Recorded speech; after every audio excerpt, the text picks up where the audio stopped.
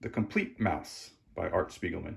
It's called The Complete Maus because it came out originally in uh, parts one and two. At least it was bound in two parts. Here's the spine of the dust jacket.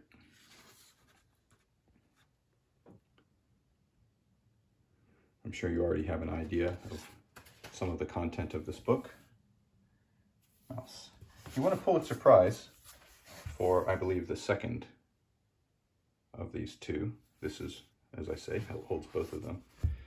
This is uh, uh, this is graphic. You can't call it a graphic novel because it's actually true. It's more like a graphic retelling of his father's story, but also a telling of his own story with his father. It's it's his relationship with his father, who is a Holocaust survivor, and it tells the story of his father uh, during that time and uh, and afterwards. But it's also about his own relationship with his father, which is strained and complicated. Um, most of the time, he's not in a concentration camp. Most of the time, he's dealing with the changing world before being put in a concentration camp. But eventually, he is put in a concentration camp. In fact, I think that maybe the entire first story, he's not in a concentration camp. The Jews are drawn as mice.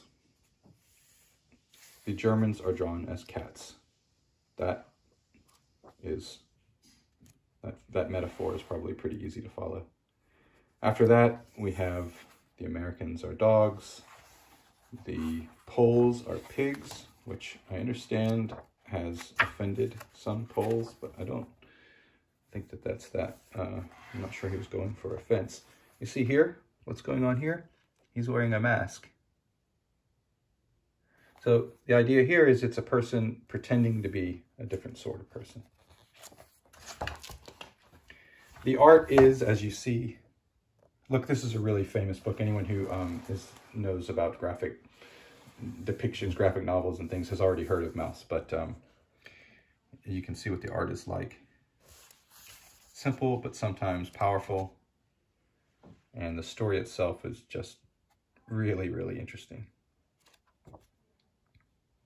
I absolutely recommend it for anyone who's interested uh, in really any of these themes, a father and a son, uh, what happened in the Holocaust, the history of the changing times in Poland and Germany and that area of the world at that time. So this is Maus 1 and 2, Art Spiegelman. And uh,